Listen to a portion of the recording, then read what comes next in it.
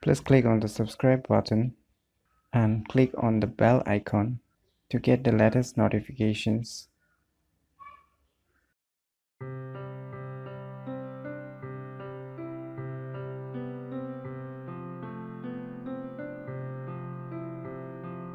Hello everyone, it's me JB from Unique Tutorials. Today in this video, I will show you how you can convert .tar.gz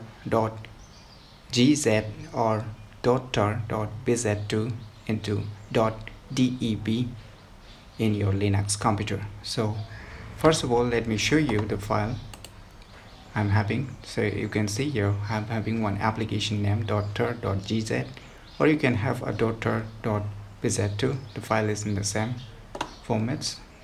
So how you can convert this .tar.gz into dot .deb that is the Debian file format so for this what you need to do is you need to open a new terminal that is the or you can hit control alt T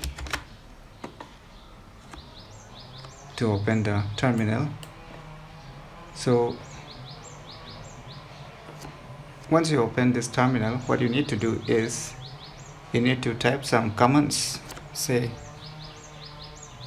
you need to install one software first by using a command sudo apt-get space install alien once you type this command, you hit enter and type your computer password.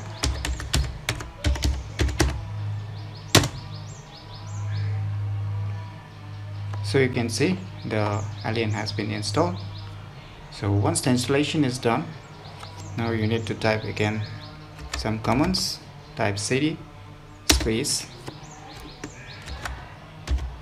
downloads hit enter now I need to type again some command sudo space alien space dash d. Space. Now you need to copy the file name.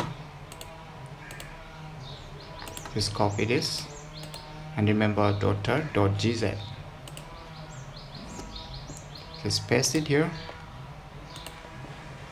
and write the extension .tar.gz once you have typed hit enter wait for a few seconds so you can see. The kazam.deb generated. So let's go to the folder and you can see here it's converted into dot .deb so in this way it's very easy to convert .tar.gz or .tar.bz2 whatever it may be. Then in this process you can convert dot .deb file from the .tar file. So as we all know in the linux .deb file is very easy to install using the deb files. So after converting you can easily install with those softwares which support installations for Debian files.